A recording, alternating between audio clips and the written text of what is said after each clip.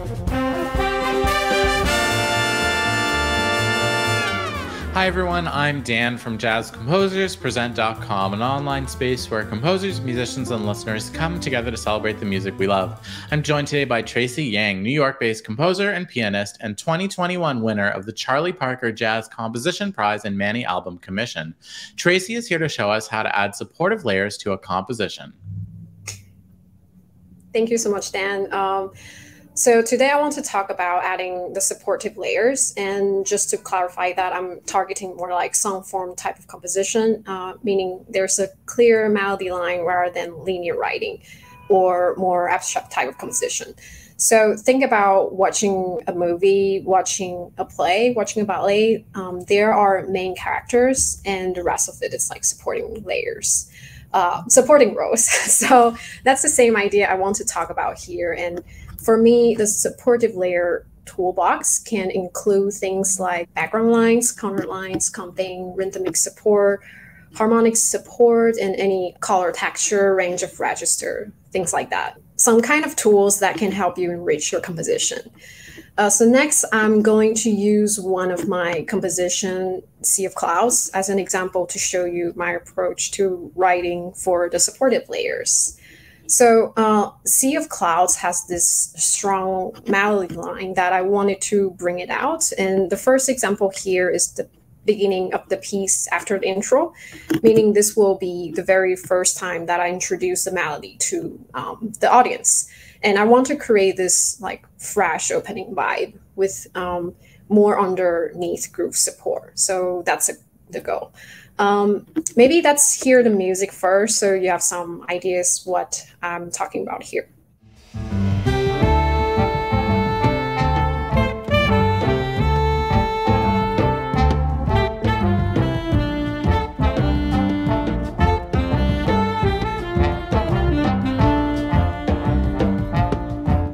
I mix a bunch of the tools that I mentioned earlier all together and I created this like two bars pattern um, we can see the slide one.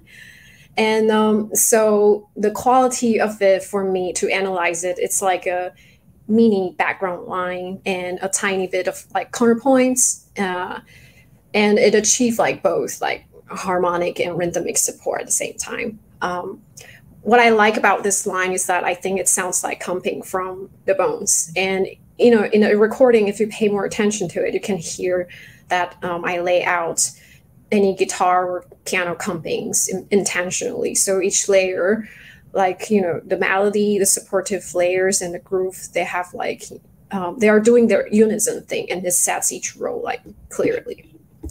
Um, and we can go to the next example. So the second example here, this part is recap of the melody after the climax transition, and I decided that I want the melody to have more colors and more dance. So I harmonize the melody first and this is to establish, you know, like the main structure first. And since the mid-range um, register has been taken, uh, I don't want to overstep the melody. So I feel like at this point I can use some like higher register to support that energy. And the two bar pattern approach is very similar to the previous example. Um, making the statement like short and concise and we can see the next slide which like shows you the harmonized um, idea. And so the supportive layer here um, i used two parts harmony and harmony in fourth to create that special uh, harmonic sounding and it also balances out the dance harmony from the melody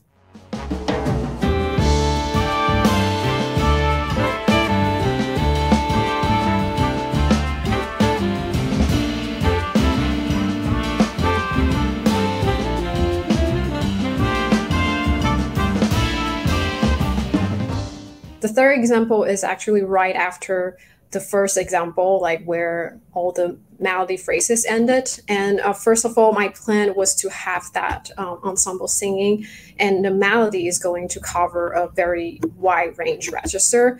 Uh, and so the supportive layer two idea here is first to create more like a bottom to support this fuller section. And the supportive layer one here is to add some color and texture on it, like a touch. Um, I was imagining like some bird calling in the mountains, um, as this piece is like has that mountain scene to it. Um, so as you know, the melody gets busier, like as the second um, section that you sec- second system you see here, um, you don't always need to fill out those like empty spaces. The fact that we leave space and room for the lines to breathe, um, that can be very supportive and effective as well.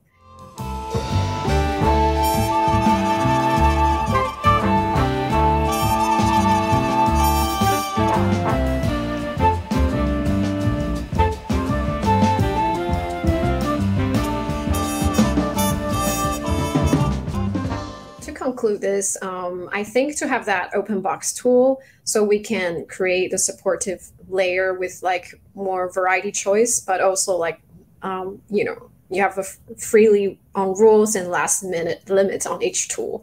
Um, you don't need to use like each tool like extensively. And also just to remember that ultimately adding a supportive layer is to enrich your composition, but not to overstep your melody. Um, and what I share today is just my approach to um, writing this supportive layer. If you would like to hear the whole piece, you can um, check out the link below. This recording I did with my band um, during the pandemic, and that's the remote recording you will hear. Um, thank you so much again for tuning in and staying with me till the end. Thank you. Thanks for watching today's mini lesson. Be sure to like, share, and subscribe. Drop any questions, comments, or suggestions for future videos in the comment section down below. To watch our full-length events and participate in live Q&As with our presenting artists, head over to jazzcomposerspresent.com. Thanks, and we'll see you next time.